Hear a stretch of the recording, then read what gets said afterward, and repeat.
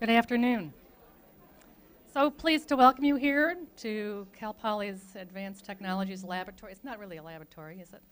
Um, it's a great hall and a great venue for our speaker this afternoon. And uh, we've had a great uh, time over in the library with the Innovation Showcase and uh, our Careers and Conversations and the wonderful exhibit that the library staff has put together for us, uh, which will be up through um, the middle of December. So if you didn't get a chance to go through it all today, please avail yourself of that opportunity. It's a great exhibit about the history of Cal Poly student media. I'm Mary Glick. I'm the chair of the journalism department. We are hosting this e series of events this weekend to celebrate 100 years of delivering the news. The history of uh, Cal Poly is chronicled by the student media uh, through various platforms uh, through all of that time, all the way from the polygram of 1916 to today's multi-platform, multimedia news organization, Mustang News. And a lot of our students are here with us today, and really pleased to welcome them. I'm going to introduce to you um, the introducer of our speaker today, and we're really pleased to have her with us. Um, Sandy Duerr. Sandra Duerr is the executive editor and vice president of the Tribune, the daily newspaper here in San Luis Obispo. And uh, she has known Susan uh, Goldberg from National Geographic for several years and was instrumental in inviting her to come to speak with us today. So, Sandy, I'm going to turn over the microphone. There will be some time for a brief Q&A uh, after Susan's presentation, and I would ask you, please, we are live streaming this event and recording it. So please hold your question until a microphone is brought to you and you can ask it and we can have it for the audience at home. So thank you very much. Susan uh, will be introduced by Sandy Duerr. Thank you, Mary. As Mary's, oops, as Mary said, I am honored to introduce Susan, who I have long admired for her outstanding journalism and leadership in our profession. Her illustrious career has spanned newspapers, a news service, and now National Geographic, where she is editorial director of National Geographic Partners and editor in chief of National Geographic Magazine. As editorial director, she is in charge of all publishing ventures, including digital journalism, magazines, books, maps, children and family, as well as travel and adventure. She was named editorial director in October 2015 and editor in chief of the magazine in January 2014. Under her leadership, last year National Geographic Magazine received two National Magazine Awards, as well as the prestigious George Polk Award for magazine reporting.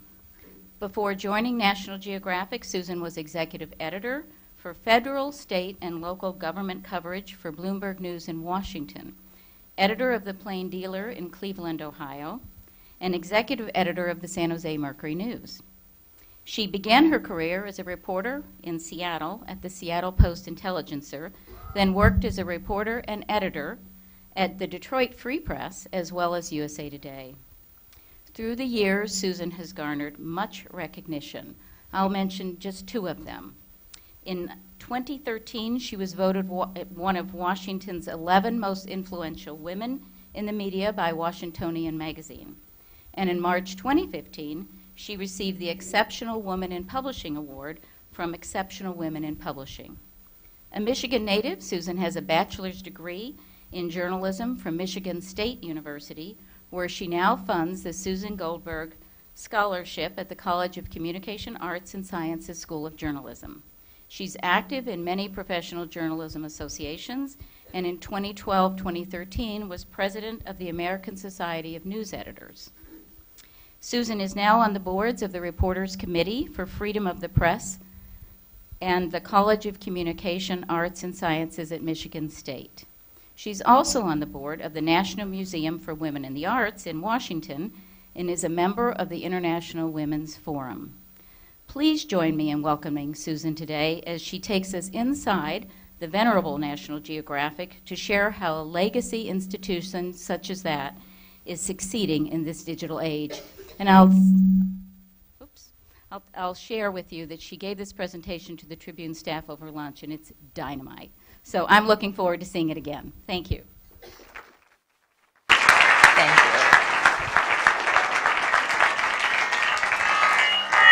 Well, I'm feeling a little pressure now. Everybody's looking for a dynamite presentation. Well, I am really delighted to be here today. Thank you so much for having me. I love talking about the work that we're doing at National Geographic because, you know, National Geographic is a global super brand. Uh, we appeal to people from 8 to 80, and we are all over the world. And how you take this wonderful institution and remake it for the digital age is really what we're here to talk about today. So, okay, I'm clicking. I'm still clicking. I might need technical help.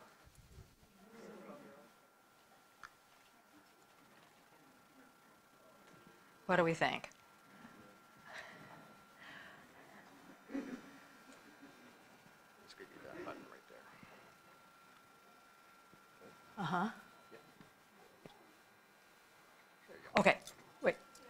This. Yep. Forward. Okay, here we go. Ready for the digital age, obviously. so, when people think about National Geographic, a lot of people think of, think of this. And this is the way, in fact, about 55 million people all over the world still enjoy National Geographic. We publish in 35 languages, and I know most people in the United States have no idea. So I always am hearing from people about how their grandfathers or their uncles or their dads have, you know, 9,000 pounds of National Geographic in the attic or the basement or somewhere.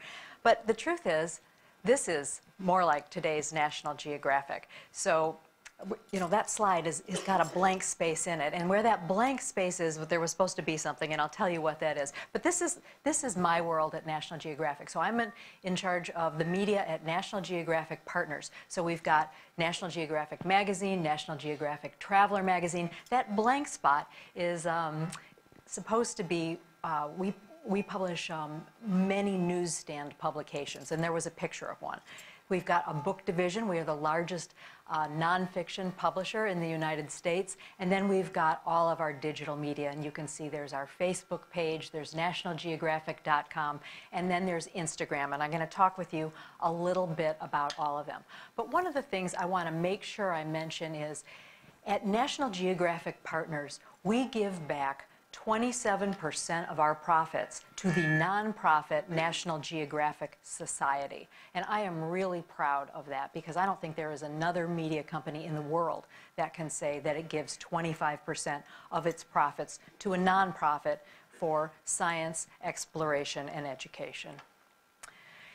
These days, though, the way we understand we're going to have to tell stories more and more is on digital and on mobile. And I understand that mobile is really going to be the most important for us. It is the fastest growing part of our readership, and I think it creates a wonderful opportunity for us to forge a new relationship with our readers. Because the truth is is their lives don't live in the yellow border of National Geographic magazine, but their lives do live on this device. They use that device to tell the story of their own lives for themselves, their friends, and their families. So I do believe it creates an intimacy that we don't get with the magazine. So increasingly on this device and on these small screens, people are going to come in contact with our professional journalism. And that's journalism like this. This is just an epic picture taken by Charlie Hamilton James. Those are the Grand Tetons in the background. And he took it, it was in our May issue, which was all about uh, Yellowstone. And I think it's really one of the best pictures that we ran all year. And they'll see journalism like this. This picture also was taken by Charlie, and he took it in Manu National Park in Peru, which is one of the most biodiverse places on Earth. It's also a place that has the, a large number of uncontacted and little contacted tribes, and you can see how shocked these women are when they see uh, Charlie and, and all of his photographic equipment and, um, you know, and his entourage. And they'll see pictures like this. We, This is a picture that we just got in a couple of weeks ago. It was taken by our underwater photographer, Brian Skerry, about 100 miles off of the coast of San Diego. And here you've got this, this seal in a kelp forest. This is one of the areas that President Obama is being urged to uh, uh, turn into a marine sanctuary. And I think we're going to be seeing a lot more talk about that as he leaves office. This will be uh, um, in a story in our magazine in February.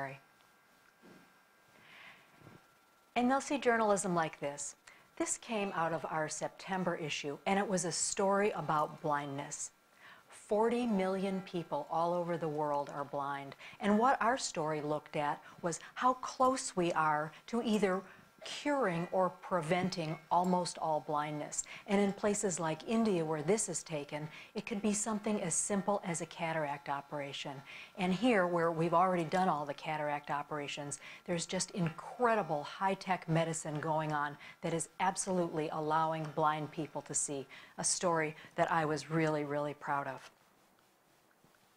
So let me talk a little bit about our, our, the reach of our, of our brand. Like I said, it really is a global super brand. Uh, so we've got you know, the 55 million people reading the magazine. Uh, you've got National Geographic Channel, which is the most widely distributed cable channel in the world. We've got an expeditions business, we have an events business, we have our book and our other magazine business. And then we've got social and digital. And the two numbers up here, well, the three really to look at, are Facebook, which is becoming one of our most important distribution platforms, like it is, I think, for almost all media. Um, Twitter is good for us. Instagram is huge. We've got 80 million followers on Instagram, about 60 million on our main account, and I think it has been so successful because we really turned over the keys of our, to our Instagram account to our trusted photographers. We gave them the rules of the road and we said, tell these stories. And I think it's that authentic storytelling voice of our photographers that has made this so successful with readers. And then the other one really to look at there is Snapchat. You know, we didn't really do much on Snapchat until about a year ago, and now we've got 19 million, mostly young people, coming to us every month to look at National Geographic stories in a completely different way. So that makes me feel really good that we are reaching this next generation of users and readers. But let me go back to Instagram. So let me show you the three most popular pictures that we published on Instagram last year. So so here is a baby harp seal taken by Brian Skerry, that terrific underwater photographer. And uh, this baby harp seal got 664,000 likes. So this was number three.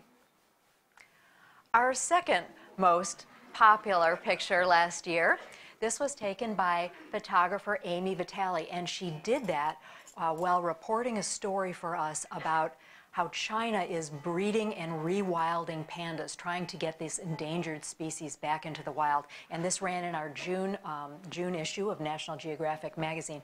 And there were just like zillions of pictures of baby pandas. It could not be cuter. Um, 735,000 likes. And here's the most popular picture that we published on Instagram last year.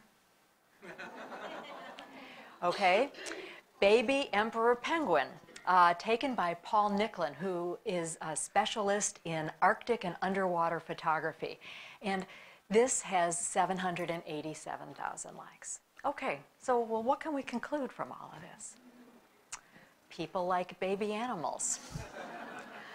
but what we have learned on Instagram is people are not afraid of looking at a lot grittier content as well. This picture uh, is from an expedition that we undertook to Myanmar. We sent a writer, a videographer, a photographer, and three climbers to try to climb the highest peak in Southeast Asia.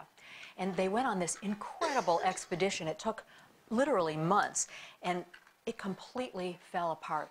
They ran out of food. They turned on each other. They never made it to the top of the mountain at all, in fact. And our photographer, Corey Richards, he writes, let me see if I can read it. he writes, here we go. Sunburned, filthy, and exhausted, After months in the jungle, climbing mountains, and the slow, steady stripping of social niceties and veneers, the reduction to our most basic and raw existence. And this on Instagram had about 250,000 likes.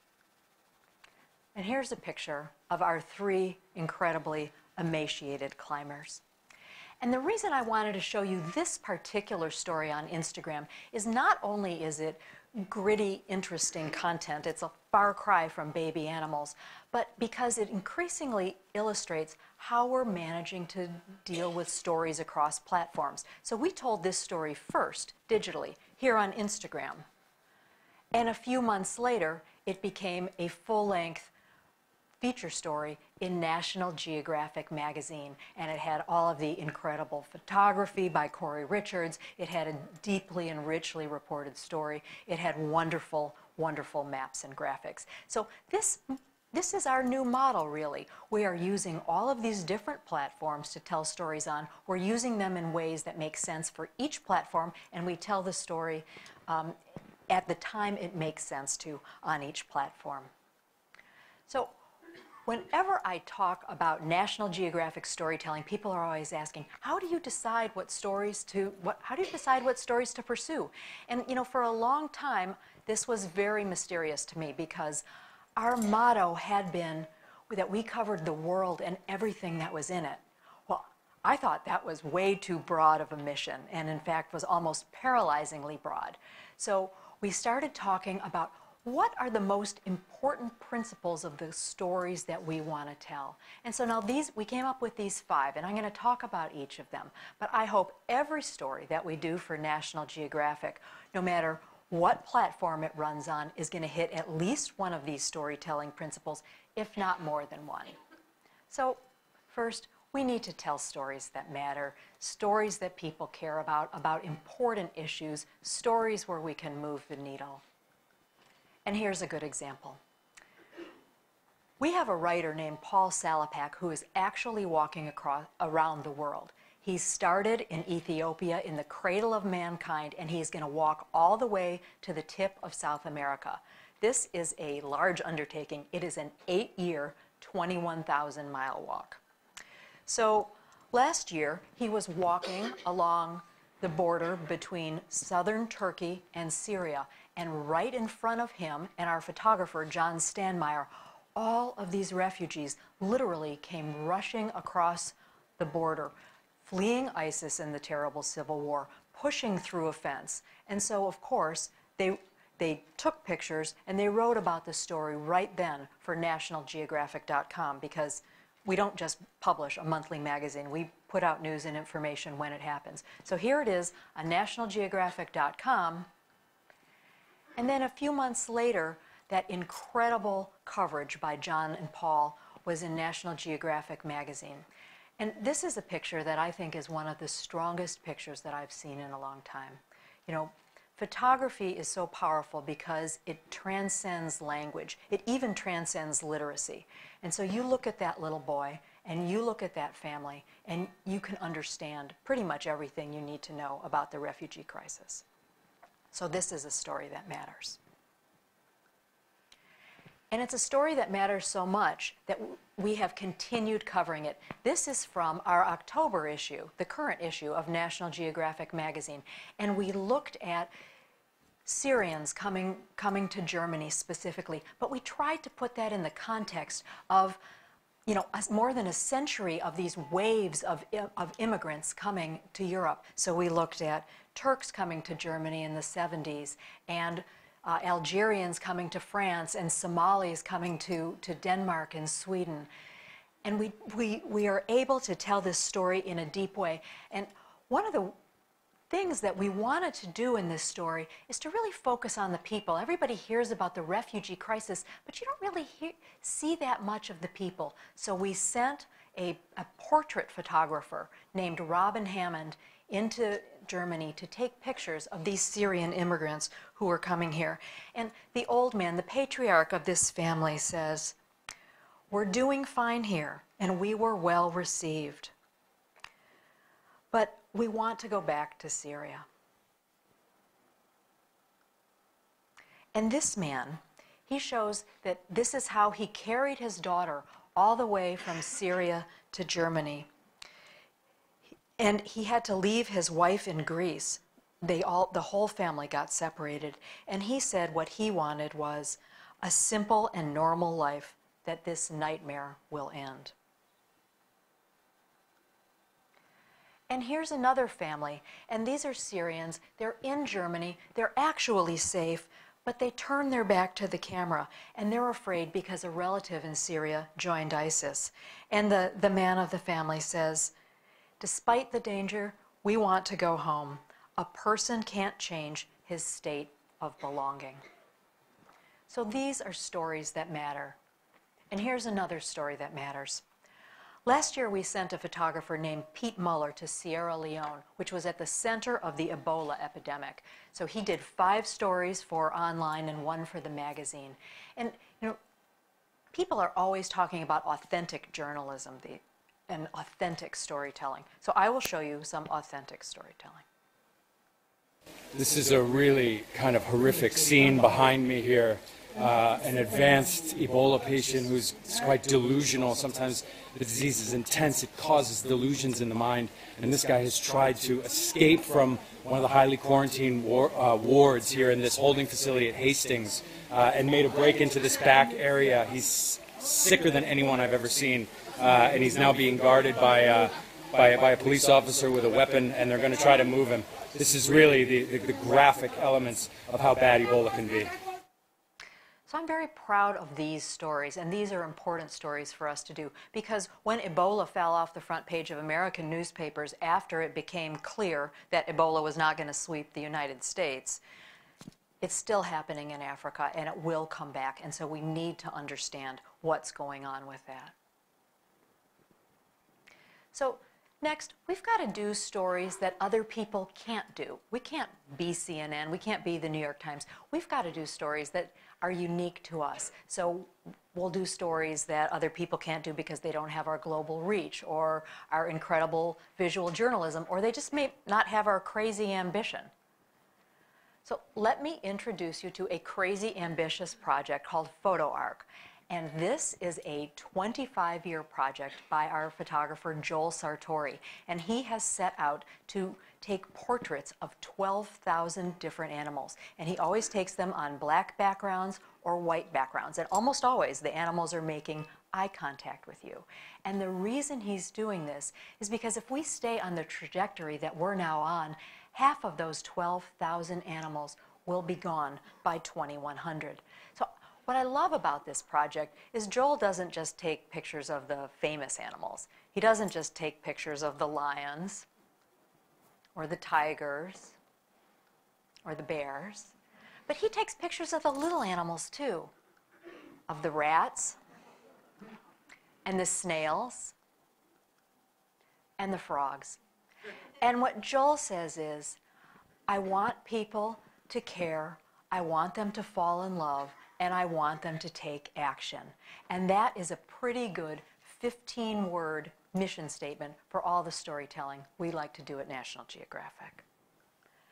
We liked Joel's project so much that in April we did something we have never done, which was we put all these different portraits on the cover. And so they were distributed randomly. So if you subscribe to National Geographic, you might have gotten the peacock, but you might have gotten the frog. And so we have never, ever done this. So that's one way, one platform that we're telling the Photo Ark story. Here's another.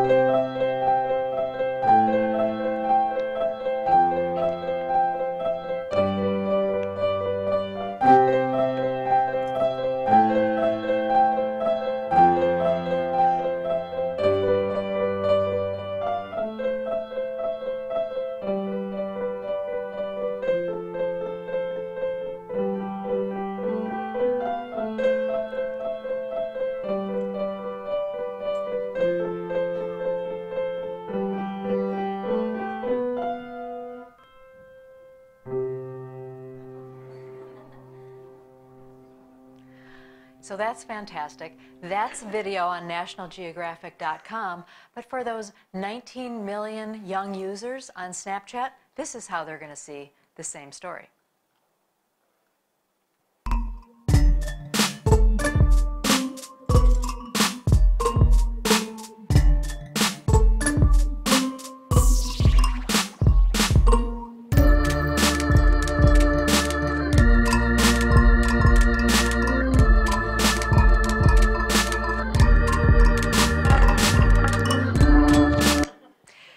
Increasingly, we are disaggregating our journalism content and then figuring out how to put it on different platforms in the way that it makes sense. If you want to talk about storytelling that nobody else can do, let me also mention this wonderful project we did. This is the mouth of a tiger shark. And it was the first of three months of stories that we did about sharks over the summer June, July, and August. We had tiger sharks, great white sharks, and then oceanic white tips. And I don't know about you all, but in Washington, everybody likes to talk about, you know, oh, they swim with the sharks because it's a really tough town, and or their office is really tough. Maybe it's that way here at here at Cal Poly. I don't know. But let me show you what it's really like to swim with the sharks.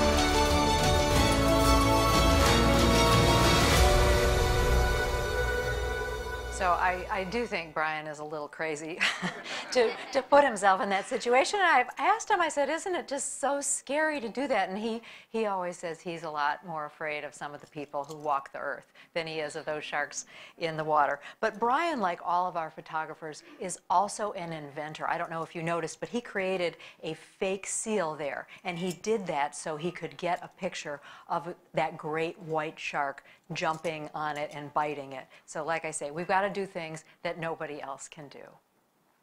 So next, we've got to be part of the conversation. I think back when National Geographic was a monthly magazine and only a monthly magazine, it was hard to be part of the conversation. But now, not only is it not hard, it's expected, and correctly so by our audience, that we be part of the conversation. And so these days, if you want to be part of, this, of the conversation, you've really got to talk about social media. So we are the number one social media brand in the United States. Um, this always just kills me. So we're bigger than the NBA, we're bigger than the NFL. I mean, we are even bigger than Victoria's Secret. who would have really, who would have really, really thought? And another part of being part of the conversation is literally getting people to engage with your content. So this is not a pretty slide, but it has an important message. This is looking at our Facebook posts in this last, just in this last quarter. So average engagement per post, and what this shows you is that we are up at about 19,000 engagements per post on Facebook. And by engagements, we mean like, comment, or share. So 19,000 people for every, uh, you know, for, for every post, and there you can see how we stack up against some of our competition. So I really feel like the, the content that we are putting out there is really engaging with this audience. But when you want to be part of a conversation, sometimes you have to start the conversation. So I'm going to give you a preview of something that we're going to do in January that I think will start a lot of conversation. This is a working cover. Uh, as you can see, we aren't going to really publish with those X's. Uh, but it is on gender. We are going to devote the entire magazine in January to the subject of gender. So not only do we look at the roles of boys and girls and men and women all over the world, but we also will be looking at the science of gender. So is gender, if you look at the science, is gender really a binary boy girl choice? Or, as increasingly the science is showing, is it more of a spectrum of gender? And only lately have people been allowed to express anything other than the boy girl uh, duality. So, I'm going to show you a video. And what this video is based on is we went all over the world and we talked to nine year olds. And we talked to nine year olds because nine year olds are really smart and they're articulate, but they do not have that social veil. They will actually tell you the truth and they will reflect our world back to us. So we talked to these kids what is it like to be a boy where you live? What is it like to be a girl? What makes you happy? What makes you sad? How would your life be different if you were somebody of the other gender? Here's some of what these kids had to say. Um, my name is Hildy Kate Lishak. I'm nine years old and I'm nine years old. The best thing being a girl is, is because that girls can do a little bit more things than boys can. Boys are better than girls because they can, they're really strong than girls. The best thing about being a girl is now I don't have to pretend to be a boy. I can just be a girl. You get to wear makeup.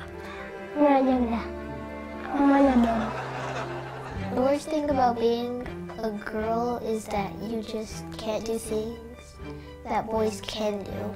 The worst thing about being a boy is your under armpit stinks. Like, it kind of bothers me how there, there was not one girl president. No, I would leave.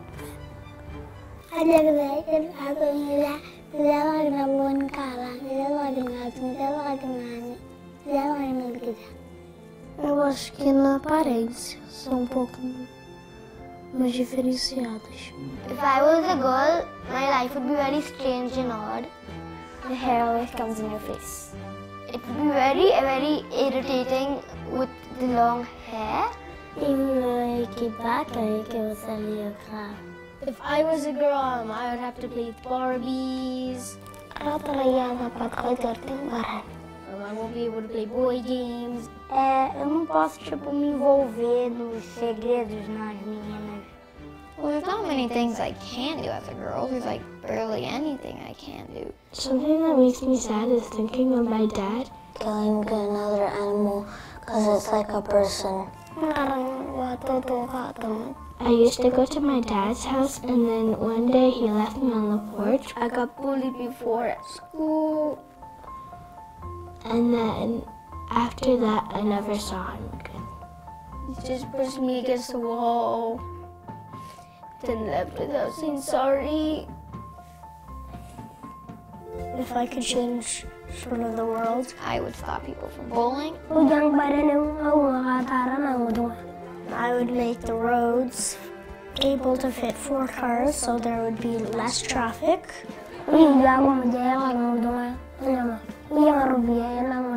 Muito agressividade nas ruas, assim, muito terror nas ruas.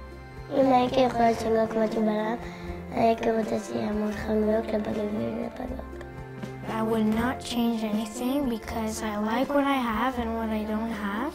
A chocolate um, house. I would live in that house and I would eat it every day. You have to appreciate what you have than what you don't have. When I grow up, I want to be a professional golfer. The first Indian president. I want to be a Navy SEAL.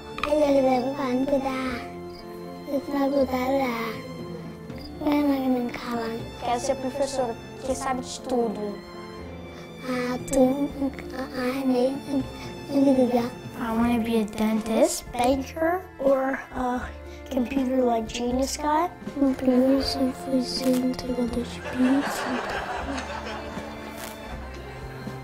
I am going to help kids have good teeth, not have cavities. Yay, we're done! So I just, I love, I love this story. I love this content. I think it's so important. And I haven't talked much about how we're coordinating with our colleagues on the television side, but they are actually going to produce a special in late December, timed with the publication of the magazine on the gender revolution, and it's going to be narrated uh, or, or uh, uh, moderated, produced by Katie Couric. So I think that will really be a terrific thing. I'd also like to do a book on these kids. You know, we took pictures of about 90 of these kids all over the world, and we shot them in the United States, Canada, Kenya, Brazil, India, China, Israel, and the Palestinian territories. And so you've got this amazing treasure trove of beautiful portraits, astounding quotes, and really it's a nine-year-old's interpretation of the world. And I think it is, it is very, very moving. So I'm looking forward to this. You know, next, we've got to act urgently. I'm sure in all of your jobs and, and here at Cal Poly, this does not seem like a, like a novel concept, but I can say at one time, it did feel like a little bit of a novel concept at National Geographic. Um, you know, it was a monthly magazine, and that is what it did, and it did it on this very rote and set schedule. Obviously, now all of that is changing. And so Here's a good example. So when Elon Musk comes out, like he did a couple of weeks ago, to talk about colonizing Mars and how he was going to pull that off, this is a story that we covered in real time. And we did that because we cover space all the time. But we've also got some big, big plans for coverage coming up in November all about space. So in November, hmm, our cover will be on Mars. Uh, this is, it's a, well, our cover will be on Mars. There we go. It's a, it's a really terrific story, and it is going to coordinate with a show on National Geographic Channel that is all about what it would really take to get to Mars um, and what it would, how people could really live there. So inside the magazine, we're going to do one of our big posters. Uh, here's the front of that poster. This is really the best map of Mars that anybody's produced in about the last 25 years. I'm very excited. It shows every single mission to Mars that has been launched by any country in the world and, and what happened to it, and really um, helps people understand the surface of the planet. And there will be all kinds of digital and social around this story. And then on the flip side of that map, we've got this, which is taking the best science that we know of today on how, if we were to go to Mars, how would we have to live there? And as you can see, we would have to live in the lava tubes because of the, because of the ultraviolet uh, radiation. So get ready for November. National Geographic magazine, we've got a Mars book coming out. We've got the television show I mentioned, and even our kids magazine is going to have a kids version of Going to Mars. And the reason that we're doing this is increasingly, it is really hard to cut through the media clutter. It is hard to cut through the din of content. There is so much information out there. So we think that by putting the content across platforms, we can get heard a lot better. You know, when big news events happen, we're always trying to figure out at National Geographic, how do we cover it? Because we're not CNN, we're not the New York Times. So when there was that awful shooting in Orlando back in June at the uh, Pulse nightclub, that shooting killed 49 people, it wounded 53. So it was the deadliest mass shooting by a single shooter in the United States ever. It was the deadliest attack since September 11th in the United States, and it was the worst incidence of violence against the LGBT community in U.S. history. So we felt like we had to do something, but we didn't know what. And then we thought, we will go in with our unique brand of visual journalism. So we sent Wayne Lawrence, who is a portrait photographer, down to Orlando. And here he talked to Victor Argalis and Brandon Haggard. And Victor says, When I first came out as a homosexual, I went to Pulse as a place of safety. It was a place where I thought other people were like me. I can't describe to you the feeling of being around other people that accept you the way that you are. And he took this picture here of Willie Williams.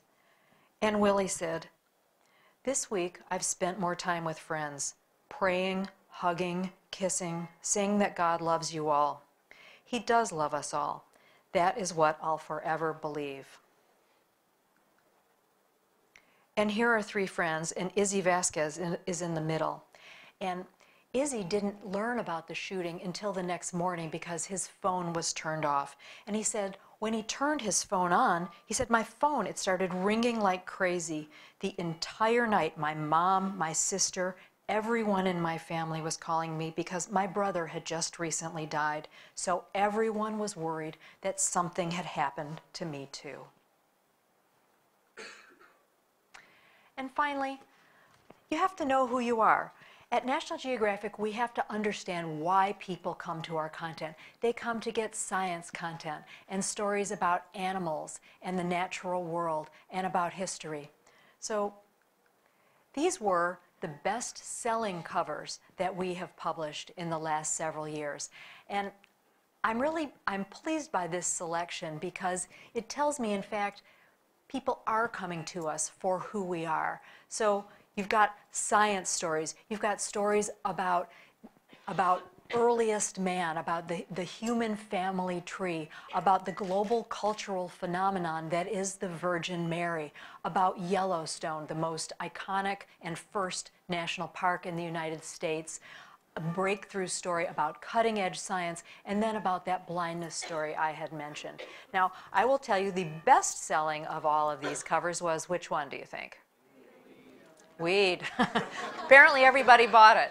Um, that weed cover has sold more than any other cover in the last four years. Uh, our top selling cover, Mary, interestingly, was number two, and Yellowstone was number three. So I think that that really kind of hits on all of those, those areas that we want to hit on at National Geographic. What I always think about um, with millennials is I, I think, to paint with a little bit of a broad brush, that this is a generation that wants to do good. And this is a generation that cares about the environment and about climate change and about scientific innovation and about species preservation. And these are the things that we cover naturally at National Geographic and always have. And so it is, you know, it is our bad if we cannot connect to this next generation audience. But I think, I think that we really are. So let me just end with one last video about our storytelling, and then I am happy to take your questions. Okay,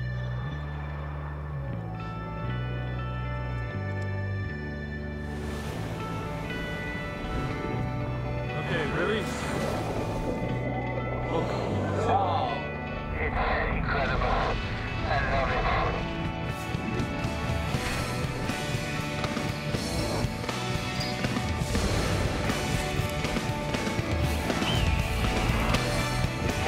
Person can make a difference. The world needs a lot more conservationists and a lot more scientists.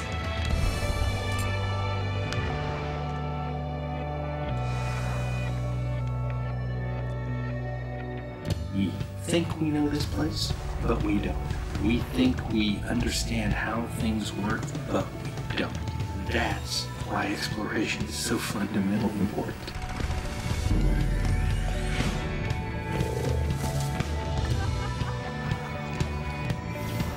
It's about telling a story that resonates with all sorts of people all over the world.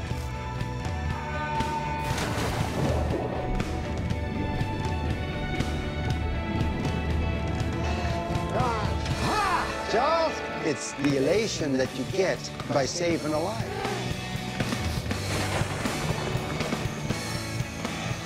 You, you're not that much older. Yeah.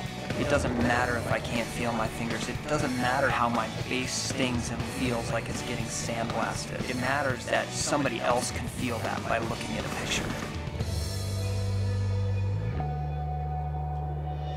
The most important message is that every individual matters, and every individual makes a difference every day.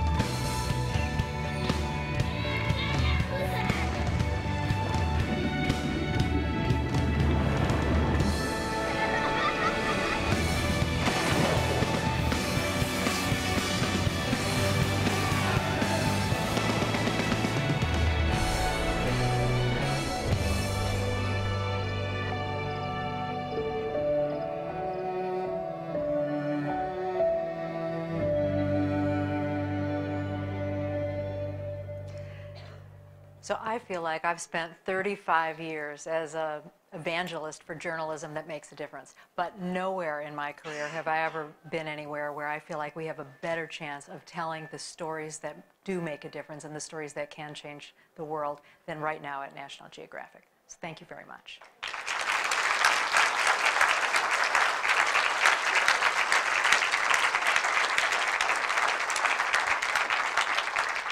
And we've, we've gone a little over, so we're just going to take one or two quick questions. Probably one question. Probably one question, right here.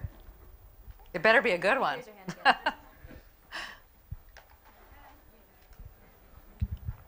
Are there any like internship opportunities at National Geographic? All right. Can you hook me up? If you go to nationalgeographic.com and look at careers, we do have we do have summer internships and actually uh, year-round internships. But Awesome. can we Thank you. take one more question? How about this lady right here? Oops, so sorry. Could you cover the um, Native American uh, in North Dakota trying to stop the pipeline? It's not getting coverage in the national mainstream media. Maybe National Geographic could be a great place for it. You know that it's interesting. We were just talking about the Keystone Pipeline and those protests that are breaking out, and I think this is an example of one of those stories that we will cover digitally first, and then perhaps repurpose it into print. But anyway, thank you all very much. Appreciate it.